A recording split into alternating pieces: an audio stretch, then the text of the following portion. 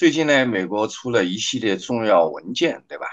那个其中呢，包括这个十月十二号出的国家安全战略报告，然后十月二十七号很有意思啊，一天连出了三份报告，国防战略报告，对吧？National Defense Report，然后这个导弹防御报告，Missile Defense Report，对吧？另外就是第三份你刚才讲到的核态势评估报告，英文叫 Po Nuclear Posture Review，二十七号连发了三个报告。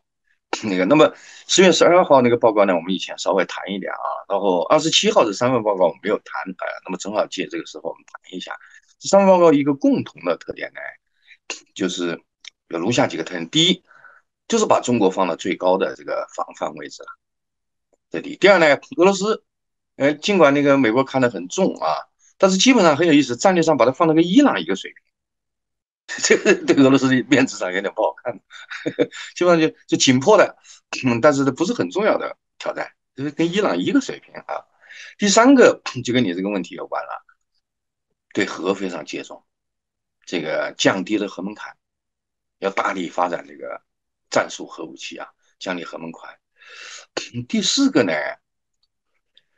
哎呀，就对中国啊，就是从那个战略上对中国重视落到核上面了。看来他以后在不光是全球战略把中国当对手，在核战略上以后也把我们当对手了。所以这次报告有个特点，就是对咱们火箭军呐，有那个特别详细介绍的，特别详细，每一个旅啊，每个基地是吧，多少个单位，然后啊哪些是作战旅，哪些哪些是那个那个那个其他配套的那个单位啊，讲的很清楚很清楚。那个，然后呢，现在看来还有具体的针对的部署。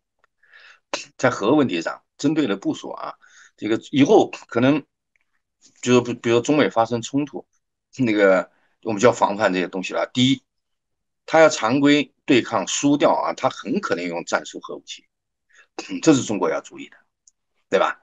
那个另外呢，那个具体的那个那个就是针对中国的那个核部署啊，大概是三个基地对付我们，一个呢就是关岛。嗯，他要加强一个呢，就是达尔文港，就是澳大利亚；还有一个呢，就是印度洋的迪戈亚西亚基地。哎，准备三三三条线路，哎，用导弹远程打击，还用隐形飞机渗透打击。那这是我们要注意的这个。所以这个，呃，当然当然，这个报告其实我看那个好多朋友都都都点评过，对吧？就是二月二十呃十月二十七号这个报告，那个就总特点就是我刚才讲的。把中国定义为主要战略对手，甚至未来是唯一，是吧？然后俄罗斯的地位大大下降，哎，就降的跟伊朗一个水平，然后就是很危险，降低核门槛，这个非常危险，对吧？因为毕竟美国是地球上唯一一个真的使用过核武器的国家，对不对？而且它应该讲它的核武器质量最好，数量，但数量有争议，他老说俄罗斯比我多，这个搞不清楚了。这个这个有可能数量多一点，但反正我们都认定就是美国应该讲是就拥有最强大的核打击能力，对吧？哎，你拥有最强大的核打击能力，历史上你要用过，你现在要降低核门槛，这对全球和平是个威胁啊。然后现在更麻烦的是，就在核武器问题上，他现在都开始把中国当主要对手，而且真的开始部署。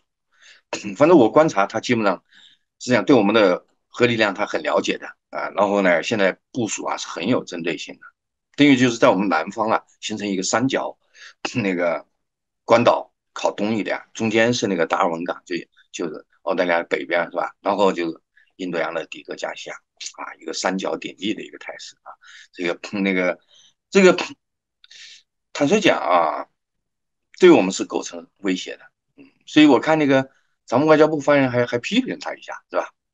那个。这个很不符合世界潮流的，是吧？所以我看那个 前几年诺贝尔和平奖给奥巴马也白给了，对不对？给了就翻脸啊！那个，嗯，总之这个呃，就上个月吧，呃，他的四份报告啊，十月十二号的报告，十月二十七号的三份报告，四份报告，我们作为搞战略研究的人都要充分的重视，要仔细的研读啊。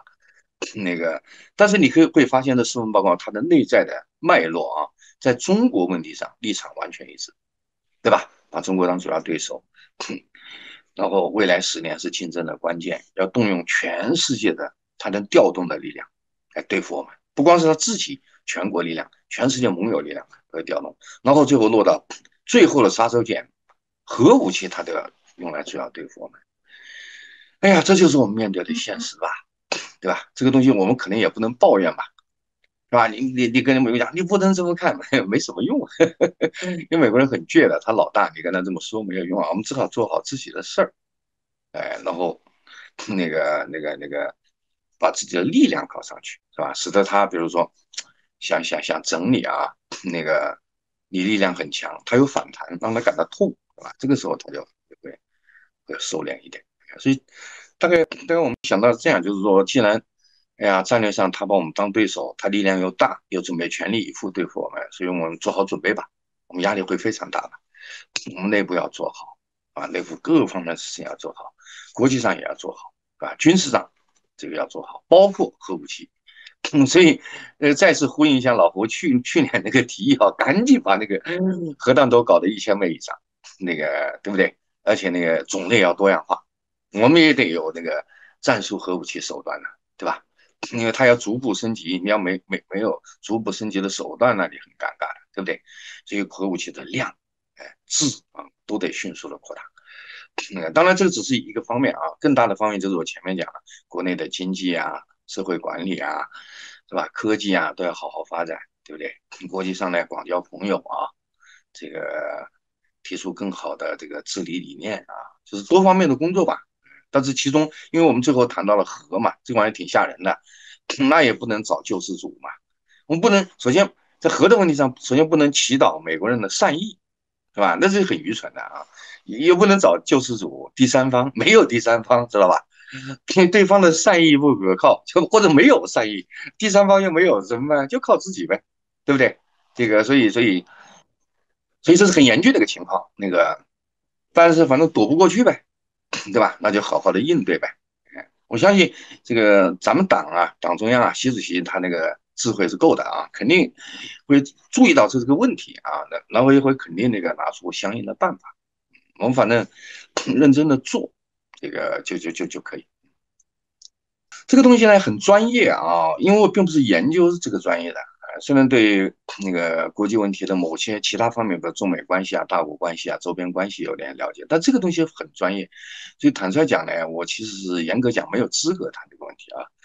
但我作为军迷吧，我有点关心这个东西，因为就我了解呢，咱们国家呢，那个这个这个这个发展那个核战略威慑啊，那个坦率讲是挺早的，是吧？就是钱老啊。钱孙一回国，开始重视这个问题嘛，对吧？所以我们也挺早的，不是很晚的啊。那个那个，因此呢，另外就是起点非常高，嗯，虽然比美俄美美苏晚一点，但是不是太晚。五十年代其实开始研究了，另外起点是相当高的，是吧？那个呃，然后呢，这个这一方面应该讲啊，我们发展也还可以，那个所以呢。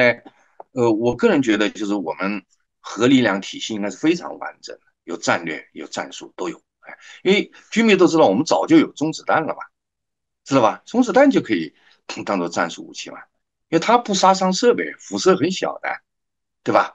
一个中子弹在一定的范围之内啊，人员可以杀伤，设备不受影响，没有核辐射，这个我们早就有了，对不对？那个。嗯，所以，我我觉得这样就是咱们呢，应该讲这方面能力是有它限于过去两个东西，一个没钱，整上这些财政很困难，没钱。那个，呃，另外呢，因为毕竟是追赶嘛，然后工业基础差，所以很长时间那个技术也不是最好的，就造太多也没有意思，对吧？第一没钱，造不了那么多；第二呢，我们技术不是最先进的，所以造太多等于有点。